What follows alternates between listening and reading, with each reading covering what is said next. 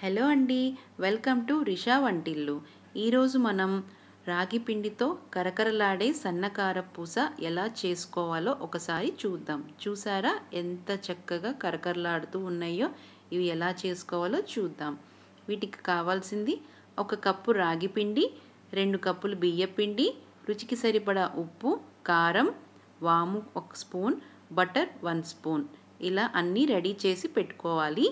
ఈ విధంగా వాముపొడి ఇలా నీళ్ళల్లో కలిపి దీన్ని వడకట్టి పెట్టుకోవాలి. లేదంటే మనకి సన్న చక్రాల గిద్దలో నుంచి ఇవి కిందకి దిగవండి.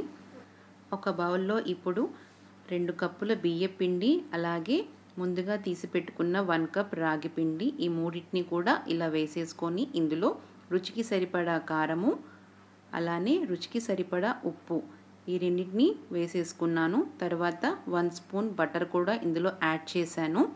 ఇప్పుడు ఈ పిండి మొత్తం ఇలా శుభ్రంగా కలిసేలాగా చక్కగా కలిపేసుకోవాలి. ఇందులో వామ్ వాటర్ కూడా వేశాను. తర్వాత ఒకసారి ఇలా అంతా నలిపేయాలండి.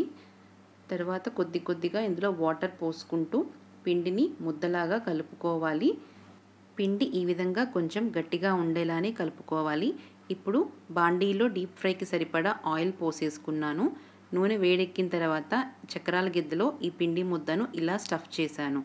తర్వాత ఈ విధంగా మనము చక్రాల గిద్దలో నుంచి సన్న చక్రాలని ఇలా రౌండ్ తిప్పుతూ ఒత్తుకోవాలండి. చూసారా? ఎంత చక్కగా ఫ్రై అవుతున్నాయో.